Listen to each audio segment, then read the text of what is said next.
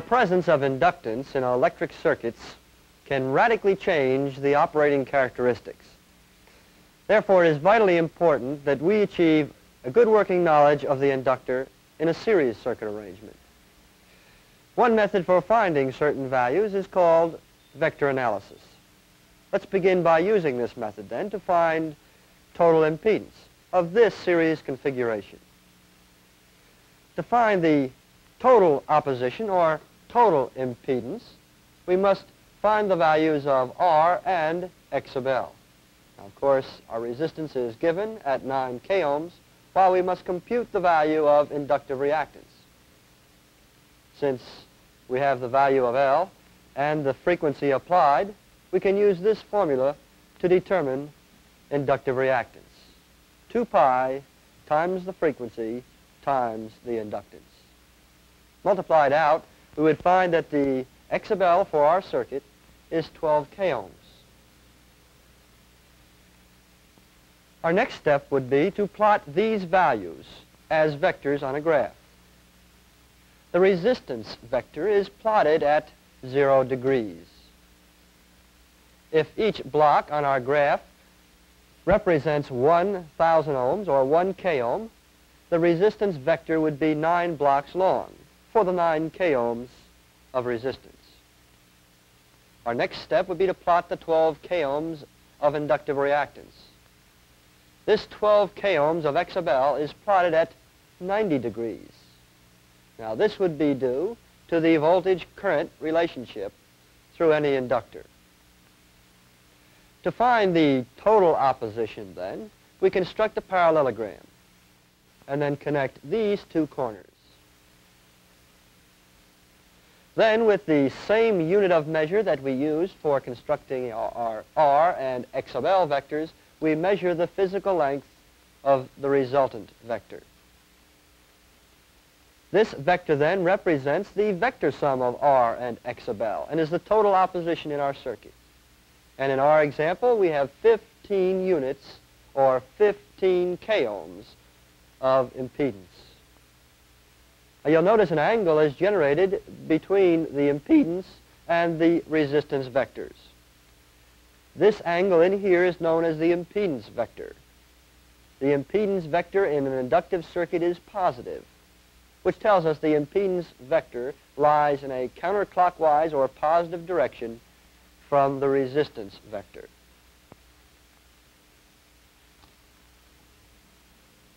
If we had a protractor, we could actually measure the number of degrees in that impedance angle. Now we know being an inductive circuit, the impedance angle will be somewhere between 0 and 90 degrees. If we'd have measured ours, however, we'd have found it to be approximately 53 degrees. That is, a positive 53 degrees.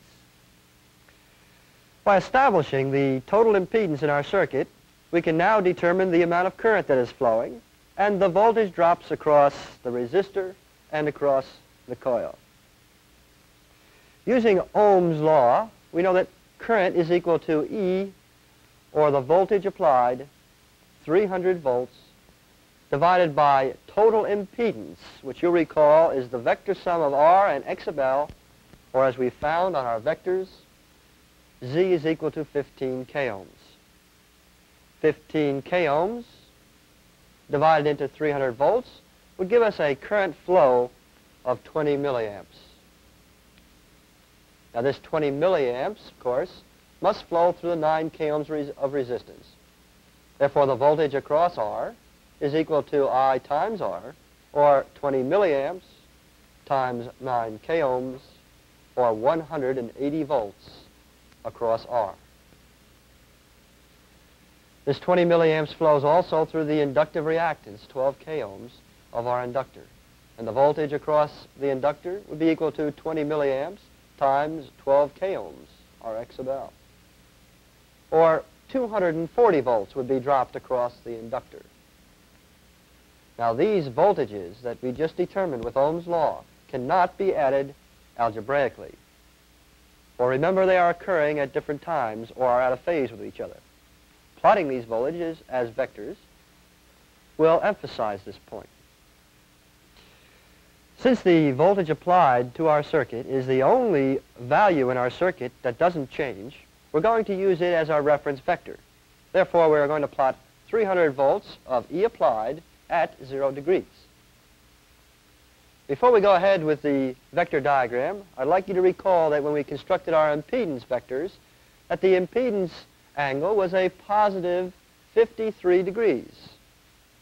Well, the phase angle in a reactive circuit is the same as the impedance angle, except the sign is opposite, or it would be a negative 53 degrees. Of course, we know we have an inductive circuit. We know there's going to be a current lag.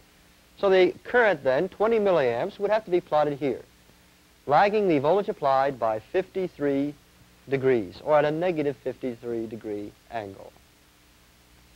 As you remember, the voltage drop across any resistor is in phase with the current that's flowing through that resistance.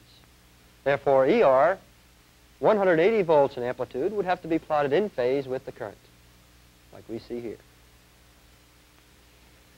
We know also that the current flow through any inductor lags the voltage by 90 degrees, or the voltage leads the current by 90 degrees.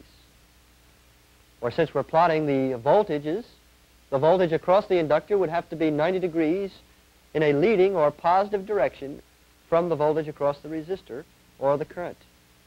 Therefore, EL would be plotted at approximately 37 degrees. And you'll recall from Ohm's law, EL is equal to 240 volts. If we then constructed a parallelogram from the inductor voltage uh, and resistor voltage vectors, we would find that the resultant vector is the 300 volts, the voltage applied. And of course here is theta, the phase angle. Current lagging the applied voltage by 53 degrees. Now, constructing these vectors may not be considered the most accurate method for finding these values, but it is indeed descriptive of the actions that are taking place in our circuit. Another useful device in interpreting the series RL circuit is the oscilloscope. As you can see, the oscilloscope that we are using has two traces. We can apply different signals to either trace. This way we can actually compare the voltage across the resistor with the voltage applied. And we can compare the voltage across the inductor with the voltage applied. To the lower trace, we have already applied the voltage applied. The waveform above is the voltage across the resistor in an RL circuit. First of all, we can check the relative amplitude by moving the lower waveform up. And of course, we can see that the voltage applied is greater in amplitude than the voltage across the resistor. You'll also notice there's a definite phase difference. If we move the waveform down just a little bit, well, you'll notice that the voltage applied is reaching a maximum positive value before the voltage across the resistor reaches its maximum value. Well, this indicates to us that the voltage applied is leading the voltage across the resistor by some degree.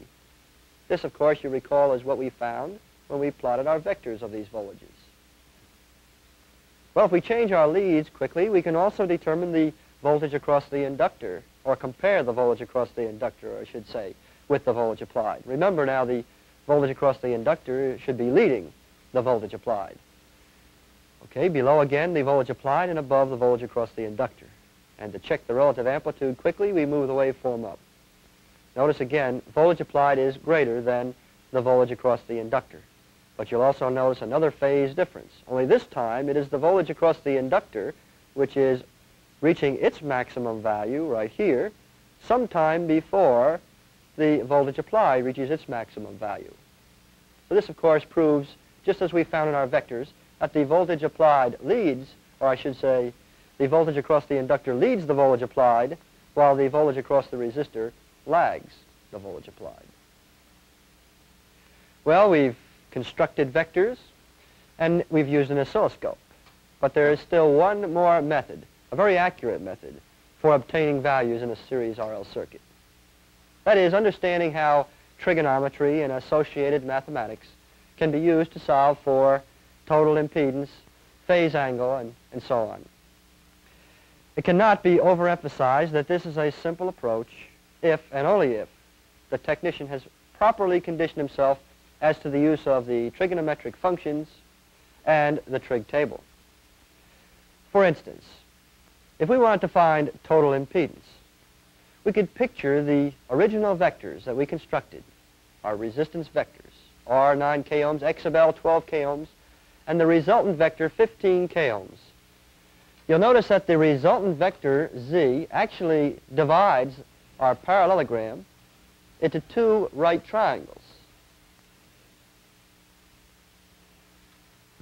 We can find the hypotenuse of this right triangle here if we know the values of the other two sides of that right triangle. And of course we do, because this side would be equal to 9 k ohms, and this side here would be equal to the inductive reactance, 12 k ohms.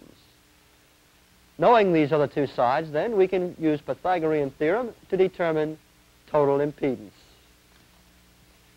Pythagorean theorem says that the impedance is equal to the square root of the resistance squared plus the inductive reactance squared. And of course, if we substitute our values, which you'll recall were 9 k ohms and 12 k ohms, we would find that impedance would be equal to 15 k ohms. Now, of course, you'll remember that this was the same value we found when we actually took the impedance vector and measured it. Uh, trigonometry is not only is not limited to finding the impedance, it can also be used to find the phase angle, for instance. The cosine of the phase angle, or the cosine of theta, is equal to the adjacent side of the right triangle we were just talking about, divided by the hypotenuse of that right triangle. So if we used our voltage vectors instead of our resistance vectors, we could say that the cosine of theta is equal to the adjacent side, which is 180 volts ER, divided by the voltage applied, which would be 300 volts. 300 into 180, of course, equals 0.6. Our next step would be to refer to our trig table. There we can find this number and its associated angle. Now this is the portion of the trig table that we need. All we have to do is to move along the cosine positions on the left until we find the closest cosine to 0.6. In our case, it would be 0.6004. Our phase angle then is 53.1 degrees. That is, as you recall, a negative 53.1 degrees. And remember, this tells us that it, the current is lagging the applied voltage in our circuit by 53.1 degrees. Not only can we find total impedance and total voltage and phase angle with trigonometry, we can also find the power factor. You recall that the power factor is equal, for, for one, the ratio of ER to the voltage applied. And just a moment ago, you'll remember, we used this same ratio for our phase angle to find the cosine of theta, or our phase angle. So naturally, the power factor must also be equal to the cosine of theta, or the phase angle. Well, knowing this, we can again use our trig table, this time to find power factor. If we know the number of degrees in our phase angle, then we'll use the same angle, 53.1 degrees, then of course it would be simple to find the cosine of that angle, which of course would be 0.6004 or 0.6. Another commonly used ratio to determine the power factor is true power divided by apparent power. True power is the power that is actually being used up or being dissipated in our circuit. Now since uh, the resistance in our circuit, our 9 k ohms of resistance, is the only component in our circuit capable of actually dissipating any power, then true power would be the current squared times the value of that resistance. Or substituting our values, you recall 20 milliamps times 9 k ohms.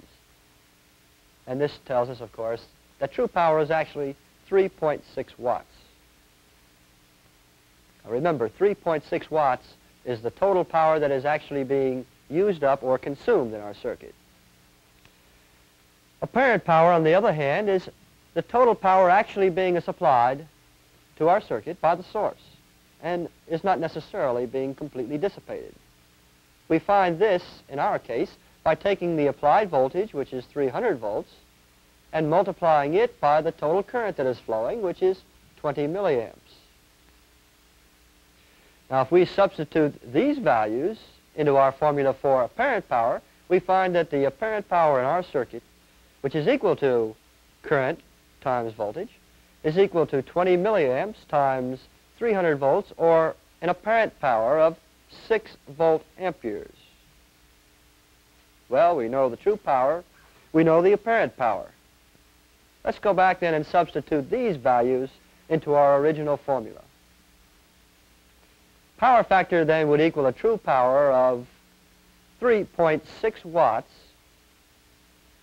divided by an apparent power of 6 volt amperes. Or, of course, dividing out power factor would, just like the cosine of our phase angle, equal 0.6. Well, we've talked about vectors, we've constructed vectors, we've talked about measuring vectors. We've also used an oscilloscope, and we've compared the relative amplitude and the phase of signals in an RL circuit, a series RL circuit. We have also found the power factor by using trigonometry, as well as total impedance. Now, it may be impossible for you to fully appreciate these maneuvers at this stage of your study, but we must become knowledgeable of the simple circuit before we could possibly challenge the more complex circuit. So long.